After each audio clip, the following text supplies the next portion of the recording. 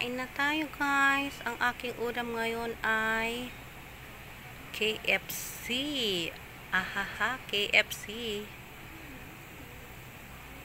Kantong fried chicken. Ayan lang ang aking ulam for today. Kain na. Isaw-saw natin sa sweet chili sauce. Ayan. Masarap ang ating kantong fried chicken. Ayan, crispy.